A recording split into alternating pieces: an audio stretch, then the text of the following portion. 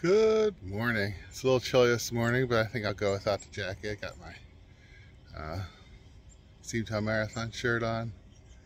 Uh, feeling good. I got a little bit extra sleep in. It's still before 8, so I can still get my three miler in before mass starts. And gloves. Hat and gloves. Should be good.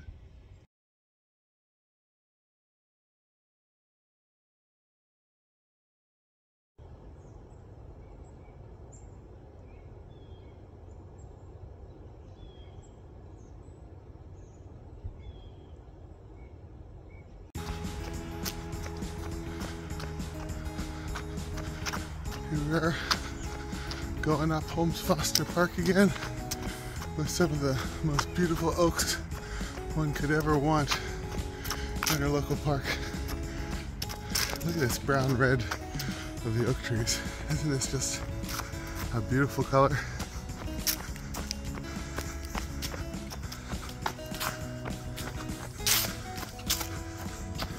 Nice little playground for the little ones here for the bigger little ones up at the top of the hill.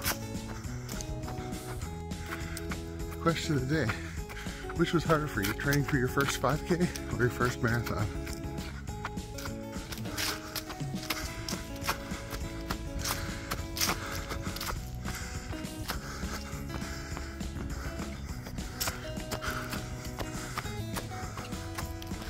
Yeah, for me, definitely. I think the first 5K is not only harder, but is a bigger accomplishment. I'm just gonna run straight through the grass here. I could run on that little dirt road on the side if I wanted to. Poke the distance, I probably should. Yeah, so. But the uh, becoming a marathoner was more painful. It's definitely something people respect. Here we are up at the top with the playground for the 5 to 12 year olds, the big, big little ones. My favorite is always the swing set. Yeah.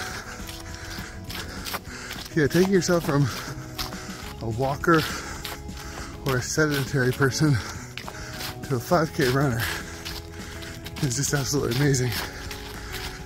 It's so much, so tough, especially doing it in adulthood. When you're a kid, maybe you're already running, but having a kid, I can say even running a 5k is not an easy thing for him. It involves a lot of walking. Because kids are natural sprinters they're not natural distance runners. That's for sure. this is why you don't see many two-year-olds running marathons. It's always funny whenever you see a book start, kids are natural runners, you should run like a kid. It's like, yeah, how many toddlers do you see finishing the New York City Marathon each year? it's just uh, blinders on. I wonder the people who say that kind of stuff even have kids. Now one thing's for sure is my eight-year-old can run around without shoes on, without hurting himself. But, you know, that might have to do with weight more than anything, right? Hello, Oaks. You know, also it could be a lack of fear of, you know, those times I know I stepped on things and cut my foot. Heck, when I was eight, I stepped on a nail, went right through my foot. I remember that. And then when I was in high school, I stepped on a can once. I had to go to the hospital for that. All those experiences, right, lead up to a certain caution with the feet. Here we are to road running. So a little bit of, uh, I guess, cross country there. Not even a mile in yet, though. And then we're into Holmes Foster neighborhood.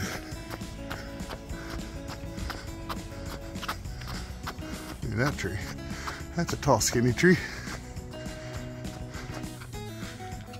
Yeah, the 5K is also a more practicable accomplishment than a marathon. I'm certainly proud of my marathon. It's amazing. My body was able to take me more than 26 miles, most of which was running until like the last 10 miles. um, yeah, it's an amazing accomplishment, but just practically for an adult, having that confidence that you can run three miles when you need to, right? Not only is that probably all the aerobic health a, say, music teacher like myself or accountant, lawyer, uh, plumber, road worker, bus driver, you know, whatever your job is, poll worker, uh, needs, right?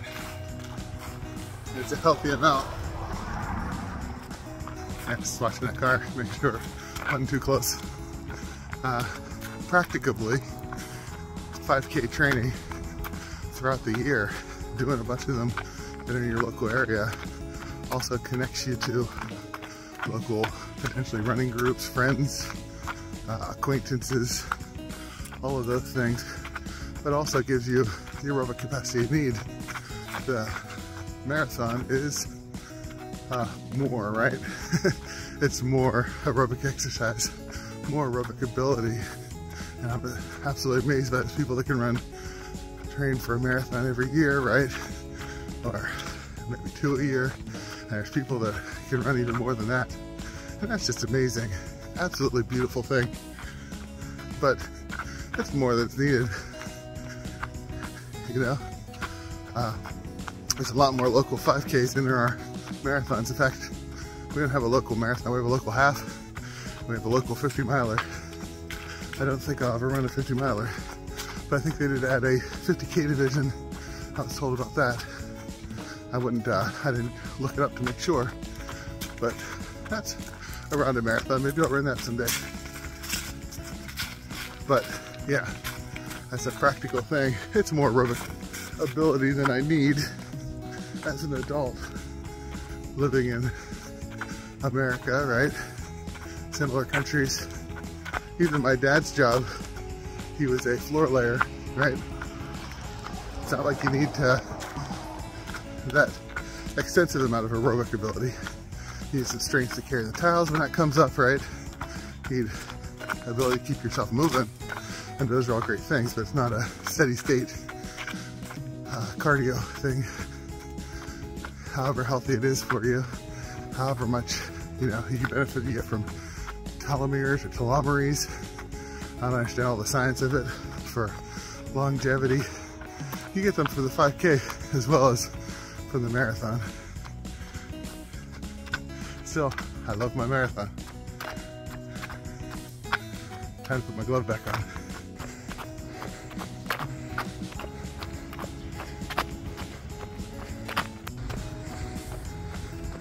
The other good thing about 5K training, regardless of your ability, is uh, whether you run a 20 minute 5K or half hour 5K or 45 minute 5K or an hour long marathon, I mean hour long 5K like my buddy did, all right? At some point, you're gonna run a, want to run a little bit faster, right? And that itch to do some speed work uh, is to work a different system or a different, your same system, right? What Kenneth Cooper called aerobics, but what they call it, aerobic and anaerobic systems today, you know, it's all cardiovascular. Uh, so shorter distance is going to make you itch for that. What they call HIIT, right? You're going to do some intervals at the track or on a path, maybe some fartleks, striders, something and you'll have time to do it because eventually becomes a manageable amount of work. Certainly, there are people who run marathon times that are fast enough that they really benefit from adding in speed work to that and get some high intensity interval training in along with the distance and that's a great thing. But again, because of the lighter load of 5, 5K training, you know, everybody can and a slightly faster speed, right? Everybody can benefit from something.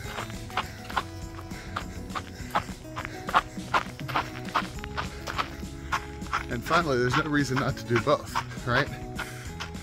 Maybe you build up for a marathon every couple of years and you do your local 5Ks. Heck, add some 10Ks and half marathons in there too, or a 50K, or if you're really awesome, 100 miler or something. I only know one person personally who's run one of those.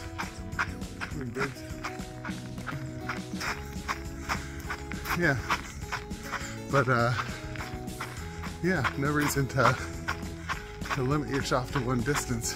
In fact, do them all. Everything that's available to you as an adult.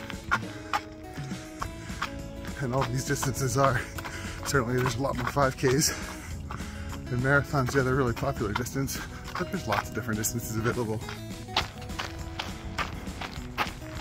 And for each distance, try out different training plans. Some might focus more on speed work, some might focus more on longer distance. You find ones that work well for you. Try different systems. Try run walk. Try zone two heart rate training. Try maffetone. Try you know everything you can find. Try the Jack Daniels distance formula.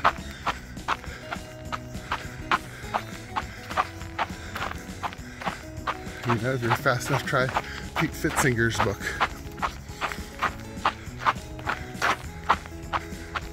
You know, having different plans is going to be good for your health. Good morning, Blue Jay.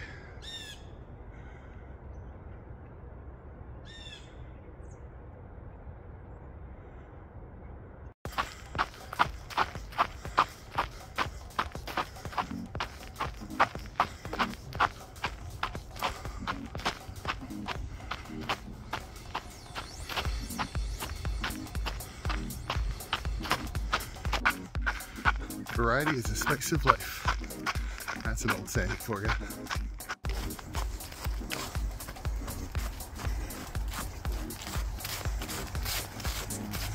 Saw a blue heron fly over this way. Decided to jump onto the path.